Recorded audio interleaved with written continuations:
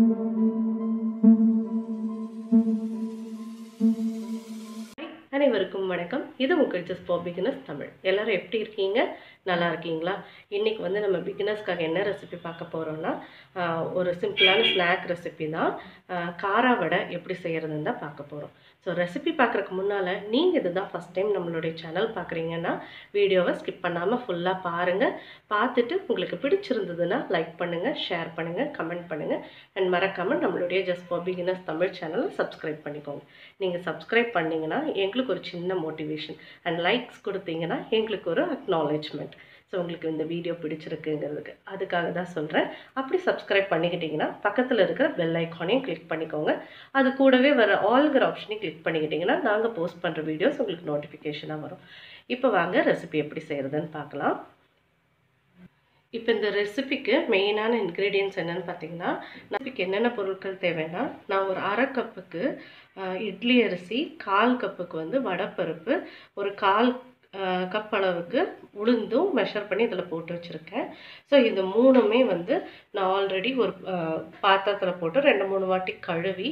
இப்படி ஊற வச்சு வச்சுருக்கேன் கிட்டத்தட்ட ஒரு டூ ஹவர்ஸாக அது ஊறிக்கிட்டு இருக்குது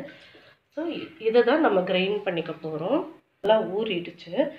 அதுக்கு முன்னால் நான் ஒரு ஆறு வரமிளகாய் இதில் எடுத்திருக்கேன் ஃபஸ்ட்டு ஜாரில் இந்த வரமிளகாவை சேர்த்துக்கிறோம் அப்புறம் ஒரு டீஸ்பூன் அளவுக்கு சீரகம் சேர்த்துக்கிறேன் சீரகம் சேர்த்துட்டு இதை முதல்ல க்ரஷ் பண்ணிட்டு வந்துடலாம் அதுக்கப்புறம் நம்ம ஊற வச்சு சீரகத்தையும் இப்படி ஒன்று குத்தலாம் பவுடர் பண்ணிட்டோம் இதுலேயே பார்த்திங்கன்னா இந்த அரிசி பருப்பு நல்லா கழுவி எடுத்துட்டேன் இதையும் அதில் சேர்த்துக்கலாம்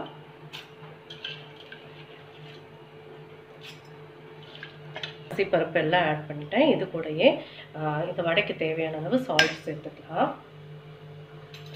இதை இப்போ ரவா பதத்துக்கு அரைச்சிட்டு வந்துடுறேன் இப்போ பார்த்தீங்கன்னா நான் நல்லா இப்படி தரு தருன்னு அரைச்சிட்டேன் ரவை பதத்துக்கு தான் இருக்குது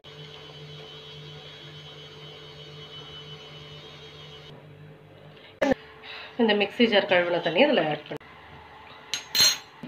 இப்போ பார்த்தீங்கன்னா ஒரு பெரிய வெங்காயத்தை இப்படி பொடியாக கட் பண்ணி வச்சுருக்கேன் அப்புறம் ஒரு சின்ன சைஸ் ஒரு இன்ச் இஞ்சி வந்து இப்படி பொடியாக கட் பண்ணி வச்சுருக்கேன் கொஞ்சமாக மல்லி இலை கொஞ்சமாக கருவேப்பிலை இது எல்லாத்தையுமே நம்ம ஒன்றா சேர்த்துக்கலாம்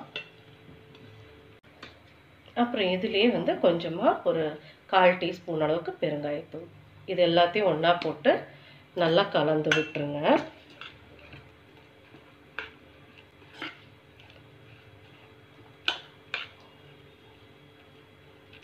இப்போ நல்லா கலந்து விட்டாச்சு நான் இங்கே ஆல்ரெடி எண்ணெய் வந்து சூடு பண்ண வச்சுருக்கேன் ஸோ இதில் கொஞ்சம் கொஞ்சமாக மாவு எடுத்து நம்ம போட்டுக்கலாம்